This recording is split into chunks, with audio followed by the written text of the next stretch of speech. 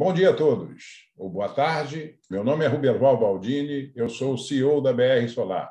É um prazer estar aqui, aceitando o convite do Grupo FRG para participar desse evento Congresso Brasileiro de Geração Distribuída em Salvador.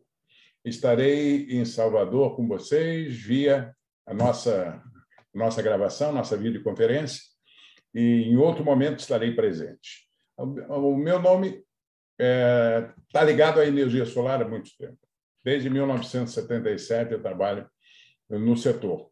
A minha primeiro trabalho foi numa empresa chamada Fonemate, em São Paulo, que não existe mais.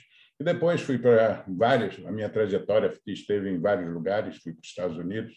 A minha formação toda acadêmica veio na área de eletrônica e eletricidade e energia solar. A minha empresa BR Solar foi fundada por mim em 1985 e antes disso fui diretor de empresas e multinacionais trabalhando nos Estados Unidos e na América Latina. É, meu conhecimento na área de energia solar, como disse, é de muito é muito longo e a gente tem uma tradição de dizer que o que você aprende, você sempre pode aprender um pouco mais. Então, estou com vocês para falar um pouco de casos de sucesso que nós fizemos nessa trajetória da BR Solar. Boa tarde. Meu nome é Ruberval Baldini, sou CEO da BR Solar e presidente da ABAMA.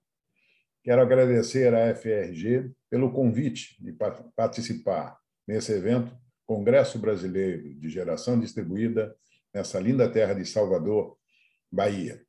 Estarei com vocês em apresentação, como disse anteriormente, por videoconferência. Então, aqui começa a minha apresentação sobre a BR Solar. A BR Solar nasceu em 1985, uma empresa que traduz no seu DNA sustentabilidade, excelência ética e transparência, confiança e inovação. Esse é o ponto inicial que começamos em 1985, atuando no mercado de energia solar térmica e fotovoltaica, com centenas de sistemas instalados em projetos turnkey, ou seja, projetos como chamam na América Latina, chave na mão, ou llave em mano. Eu pego a ideia e traduzo em solução. Sistemas residenciais, comerciais, prediais, em sítios, agroindústrias, academias, fábricas e outros, vocês vão ver ao longo da minha apresentação a trajetória de projetos que foram feitos nessa experiência de mais de 35 anos no mercado de energia solar. Foquei aqui em micro-usinas, mas também poderíamos falar um pouco de sistemas maiores. Mas foquei os meus 10 minutos aqui, espero ser breve, e dar um, um overview né, da ideia de energia solar prática e uso diário com os seguintes conceitos. Nossa missão é expandir o uso da energia solar, criando soluções inovadoras e economia para nossos clientes. Por que isso é importante no dia de hoje? Todos nós estamos buscando soluções para a redução do custo de energia, seja no nosso negócio, seja na nossa vida, nós precisamos soluções. E energia solar tem trazido essas soluções através das resoluções criadas desde 1900 e, e criada em 2012 quando, em 1997, começou-se a discutir a possibilidade do uso de energia solar também conectada à rede, porque até então se usava a, conexão off-grid. Né? A visão da nossa empresa é sempre trazer e prestar serviços diferenciados. Vocês vão ver eh, ao longo da apresentação algumas coisas que a gente traduz como essa diferenciação de produtos diferenciados a sustentabilidade, a excelência, a ética e transparência, a confiança e a inovação. É isso que nós trazemos nas nossas apresentações. Projetos de, com simulação em 3D é o que norteiam a, a base para análise de um, de um sistema. Por exemplo, você traz a solução na sua casa e gostaria de, no seu consultório, trazer a, a economia da energia gerada na sua casa numa microusina. Que vamos traduzir o que é microusina. Até 75 kW dentro da legislação como ela está hoje definida. É, acima disso, nós falamos, chamamos de mini usinas em GB até 5 megawatts. Aqui algumas das simulações de sistemas de 500, 300, que já são mini-usinas, nesses dois casos primeiros, e nesses de baixo, tudo micro-usina, em situações diferenciadas, com vários tipos de aplicação. O que caracteriza um, uma instalação IGD on-grid? Conectado à rede, com a, o consumo da energia para uso próprio e o excedente colocado na rede. Durante o período de uso, o excedente que está sendo gerado vai à rede. E durante a noite, quando eu não tenho produção, eu recebo da rede a energia que eu preciso. Com isso, no final do mês, eu tenho essa conta de chegar, como todos nós sabemos. Só para dar uma clareada para alguém que esteja aqui e não, não conhece o processo de, da geração distribuída. Alguns dos casos instalados aqui, eu tenho um filme que passarei no final, de casos específicos de geração compartilhada. Eu gero no local e posso colocar na minha, no meu escritório, no meu consultório, que é o caso nesse aqui no MEA, um sistema de 14,28 kW-pico funcionando é, desde há dois anos atrás. Eu tenho esse sistema de 30 kW na Universidade Federal do Rio de Janeiro, que tem a mesma condição. As diferenças estão em tipos de telhado é, esse sistema de 4 kW. Tudo isso caracteriza microgeração. Esse foi o primeiro sistema no CEPEL que nós instalamos já em 1992 e que foi o que norteou as, as condições de uso para análise dentro de uma rede. O CEPEL é o Centro de Pesquisa da Eletrobras. A rede estava totalmente monitorada pela, pelos engenheiros do CEPEL, e daí deu para avaliar como funcionaria isso numa rede. Isso foi dez anos antes da, da Resolução 482, que saiu em 2012, nós instalamos esse sistema em 2002. Tiveram dez anos para analisar. Casos típicos, como esse, desculpe, é, edifício comercial, isso tem centenas de sistemas instalados pelo Brasil, fornecido por várias empresas, não só a minha, com características idênticas a essa. Por que esses casos são de sucesso? Porque o tempo de utilização para a implantação de um sistema desse é na faixa de até três meses, quatro meses no máximo. E isso desde o momento que conseguimos é, a aprovação da, da concessionária local e a partir do momento que nós colocamos ela em conexão com a rede. Sistemas são os mais variados possíveis em função das variações de instalação e localização. Sistemas maiores em indústrias com, ou em estacionamentos, em carpotes, até 75 kW, são praticamente um, a solução ideal hoje para várias é, empresas que estão buscando a sua própria geração. Aqui temos uma solução de estacionamento em carpote. Qual é a solução de carpote? Ou seja, é cobertura em estacionamento residencial ou em empresas. A solução é que você tem uma área coberta com dupla função de estar protegendo ali os veículos, dando uma cobertura para os veículos e, ao mesmo tempo, gerando sua energia. O que fica muito claro é que, quando eu não tenho área suficiente, mas tenho pátios para poder fazer a instalação, essa solução se apresenta como uma das melhores.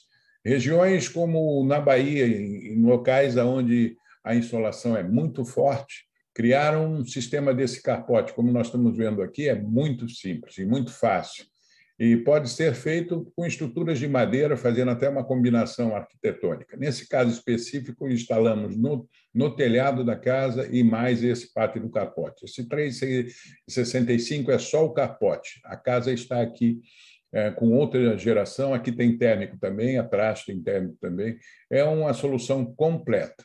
Nós vamos ver aqui algumas das soluções e as tanto com bateria off-grid como com geração distribuída. Hoje nós estamos buscando soluções de, de geração híbrida com os novos equipamentos que estão saindo do mercado. É, aqui nós apresentamos soluções off-grid, é uma solução para a aeronáutica, tivemos algumas instalações desse tipo, onde eu uso um banco de bateria. Todo o conceito aqui foi desenvolvido por nós.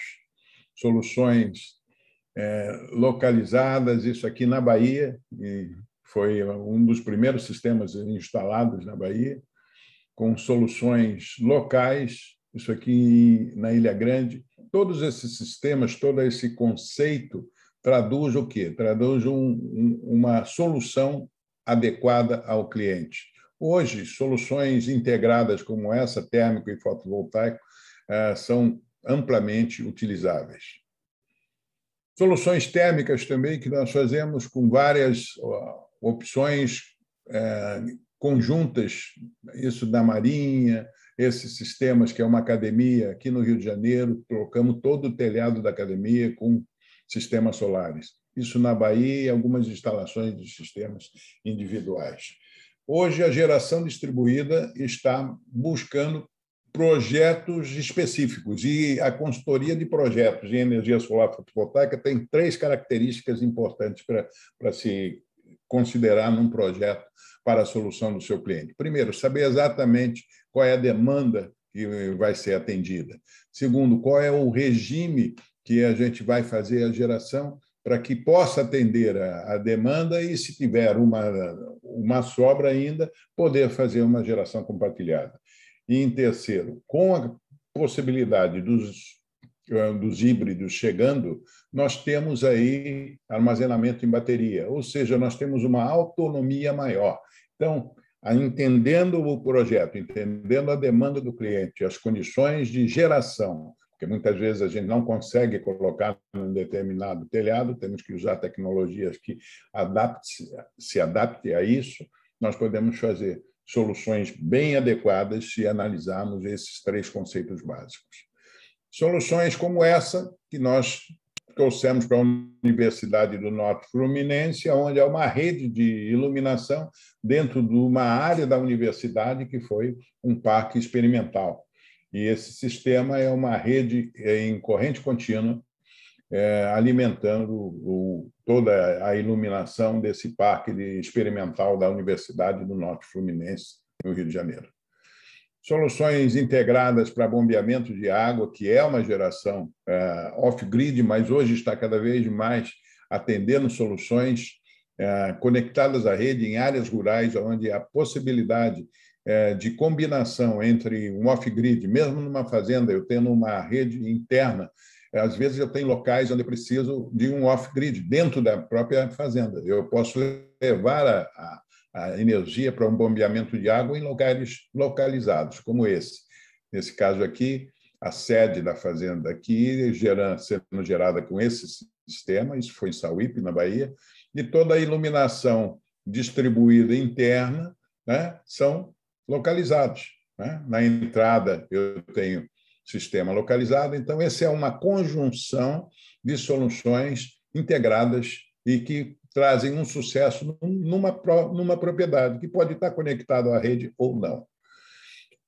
Ah, o que é importante num processo ah, de eh, instalação? Um sistema solar dura 30 anos, talvez um pouco mais. Nós temos instalações que duraram um pouco mais de 30 anos, e, e desde esse período a gente fez a manutenção, faz a vistoria de, inspeção, mesmo em locais, em locais é, muito, muito remotos, o que facilita a, a, a vida útil de um sistema é a manutenção preventiva. E sem manutenção preventiva, eu quero dizer a todos vocês que compram um sistema, pensem na qualidade do que vai comprar, na qualidade da empresa que está envolvida no processo, porque a solução é dada por uma empresa que vai estar aí no momento que vocês precisarem depois.